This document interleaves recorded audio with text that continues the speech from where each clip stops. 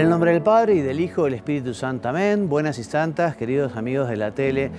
continuamos nuestro itinerario, nuestro camino de la Semana Santa, de la Semana de la Misericordia Divina. Y hoy es el día más triste, hoy es el día más doloroso, porque Jesús a las 3 de la tarde muere en la cruz. Pero junto a este dolor también está la alegría y la esperanza de poder estar con Él en el cielo. Recuerdan ustedes que después del pecado de nuestros primeros padres, Adán y Eva, se habían cerrado las puertas del paraíso y ninguno podía entrar allí, ni siquiera San José.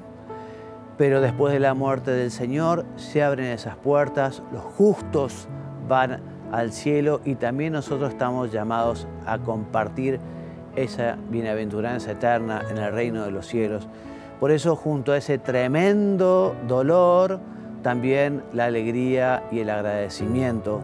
Hoy es un muy lindo día para meditar justamente la pasión del Señor, meditarla con los textos sagrados del Evangelio, meditarla rezando el Via Crucis, por ejemplo, o meditarla viendo aquella película espléndida que nos dejó Mel Gibson, La Pasión del Señor. ¿eh?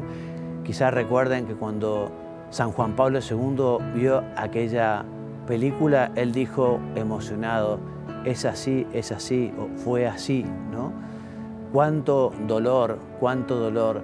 Y pensemos que Jesús no murió solo por los judíos y los romanos de aquellos tiempos. El Señor murió por todos los pecados de los hombres, también por los tuyos y por los míos. Ese día no se celebra la Santa Misa, pero se tiene un oficio muy particular, un oficio que tiene tres importantes momentos. Primero es la celebración de la Pasión, que tiene lugar a las 3 de la tarde aproximadamente. Primero con la liturgia de la palabra, con sus lecturas y su evangelio. Luego la liturgia de la adoración de la cruz, a la que acudimos a besarla, ese día también nos inclinamos y nos arrodillamos como hacemos ante el Santísimo, rodilla ¿eh?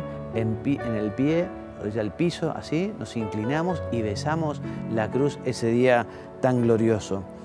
Y por último, la comunión, se distribuye la comunión, las formas fueron consagradas el día anterior en la, en la misa de la Cena del Señor, fueron reservadas en aquel lugar tan especial ¿eh? para adorar y alabar al Señor, y allí se recibe la Eucaristía. La liturgia termina sin despedida ni canto final, el pueblo se retira en silencio, algunos se quedan para continuar con, con su oración personal, con sus devociones, los que no hayan tenido oportunidad de besar la cruz en la celebración podrán acercarse en ese momento. Es el día en que la iglesia presenta un aspecto extremadamente austero. Nada distrae nuestra atención del altar y de la cruz que allí queda después del oficio. Y la iglesia así permanece vigilante junto a la cruz del Señor, contemplando su muerte. Qué dolor, y hoy le decimos al Señor, Señor, no te queremos ofender con el pecado, Madre nuestra, Virgen María, cómo nos gustaría que fuera una gran verdad aquello de que antes morir que pecar.